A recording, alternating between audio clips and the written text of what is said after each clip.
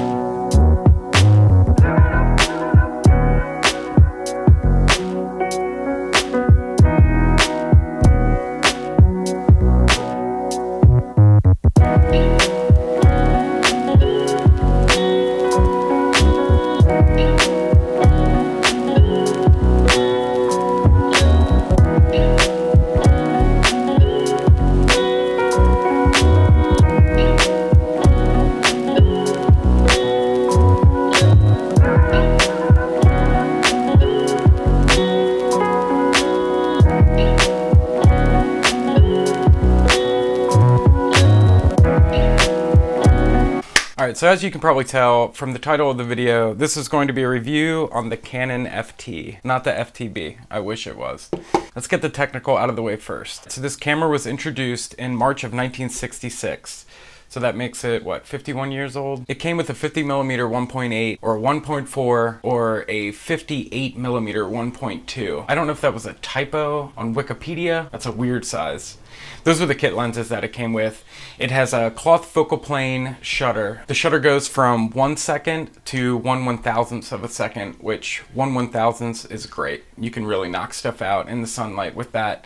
It's also got a bulb setting, so you can do long exposure, and I believe the, the flash sync is 1 160th of a second, which is not that fast. I usually like to shoot my flash around 125, 250, but you know, it is what it is. I don't think I'll ever use a flash with this camera, so that's not really an issue for me. Um, it does have the quick load system. I'm not sure if it was introduced in this camera, but it's got the same quick load film system as the Canonette.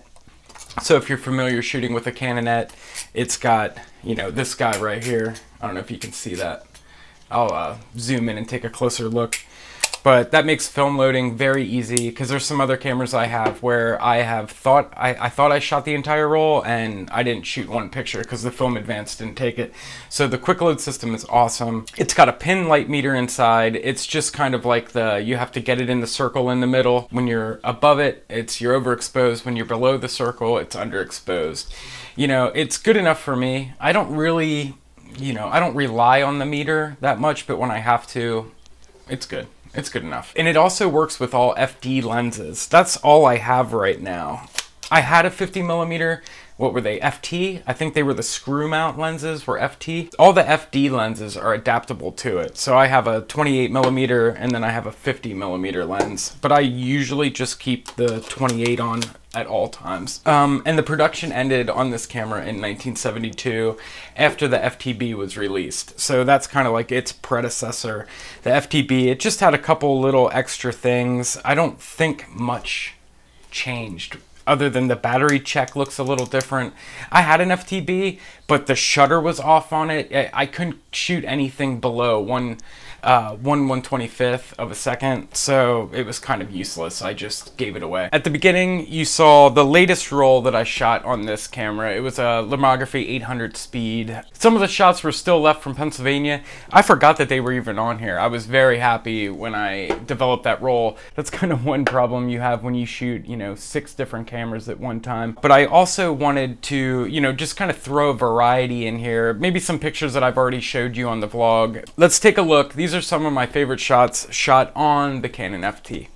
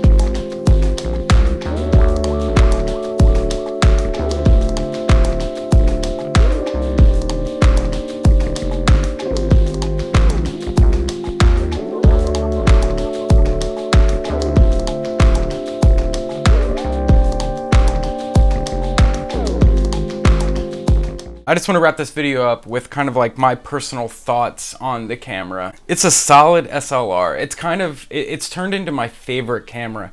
I was predominantly a Nikon shooter, but at the moment I don't have any Nikons that I'm like totally in love with that are kind of fully mechanical. You know, if the battery dies on this, it's okay because it still works. The other the other Nikons I have, they don't do that. This thing, I know, even if the battery's dead, the only thing that's to happen uh, is the light meter won't work, and that is not that big of a problem because I shoot Tri-X all the time at 1600, so I know, you know, my mind just knows where to go with that. Definitely very basic, very simple. It's it's got kind of a weird design to it that I've grown to I guess love. Yeah, I've grown to love it. To turn the light meter on, you just have to click this lock over and push that and the light meter's on. I tend to forget to turn it off, so I kill batteries. I go through batteries very, very fast with this, which isn't a problem because they're very cheap. You can get, you know, 20 of them for 10 bucks or something like that from China, as long as you don't mind waiting. I've just like really grown to love this camera. It's got a good weight to it. I always look on eBay for you know different size lenses and they're always super cheap. 40 bucks for a 50 millimeter lens is not a bad deal. You can probably even get them cheaper than that. And i also was looking up the bodies on ebay and at this at this time they're going anywhere from like $10 to 50 you know? So you can't really beat that. It's such a good camera. If you're if you're looking to get started or one of your family members has one of these and they're passing it down to you it is it's a great camera to learn with or just shoot with every day. So final thoughts on this whole thing. Just love this camera. I'm really looking forward to getting, I want to get an FTB again, and I would, I would like to try out some FT lenses.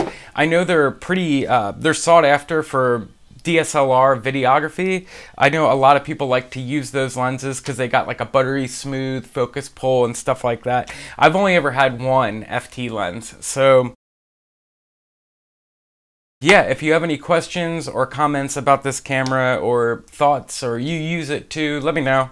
Leave me a comment down below. Gonna be it for this video, kind of short, kind of sweet. Don't forget to like, share, and subscribe. Leave me a comment, let me know what's up. It's good talking to you guys, and I will see you Sunday.